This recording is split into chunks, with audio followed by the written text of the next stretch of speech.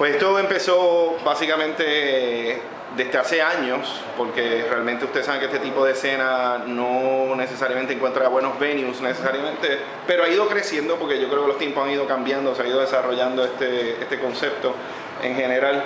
Y yo creo que es importante ahora darle un empuje y organizarlo un poco más para crecer, para tener esto obviamente dentro del talento que nosotros tenemos, eh, ofrecernos los equipos necesarios, eh, lo que son estándares, ¿no? o sea, proyectarlo, o sea, esto es luego también de, nuevos medios. Una época ahora que es como una sinestesia completa, o sea, podemos escuchar eh, imágenes, podemos hacer las imágenes hablar de diferentes formas y yo creo que pues es una tecnología, ¿no? no se trata solamente de tecnología, sino por lo menos la oportunidad de expresarnos y organizarnos de manera tú sabes, que el que quiere y necesite y pueda, lo haga.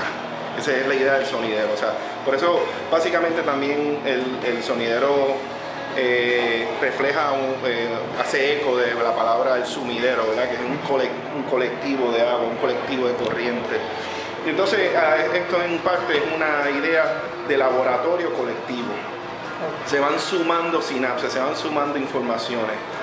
O sea, nosotros tal vez no tenemos un laboratorio en Puerto Rico que podamos decir, ¿verdad?, que tiene capacidades completas de, hacer estudios acústicos, de hacer estos medios y electrónica simultáneas, etc.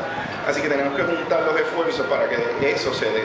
Lo que tal vez es natural esto en sitios como Finlandia, en California, en Nueva York, ¿verdad?, que tienen los recursos para montar ese tipo de laboratorio, aquí no lo hay. Entonces lo estamos haciendo de esta manera, o sea que poco a poco eh, por eso el jam es una pieza importante porque ¿verdad? se refleja también la actitud de producir esto conjuntamente y, hay que estar bien pendiente, ¿no? O sea, de qué está eh, sonando, de qué está, de, tu frecuencia. O sea, yo creo que también es reflejo de época.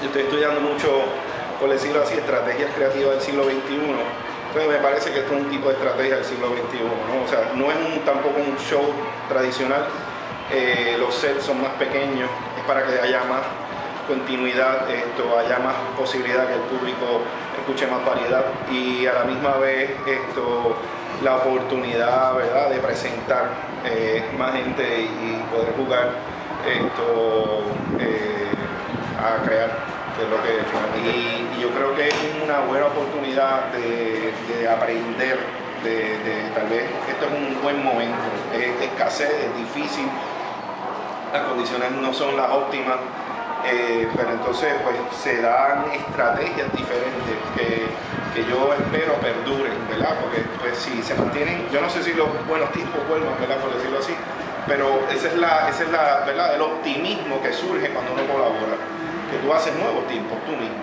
Tú sabes, eso es la, la.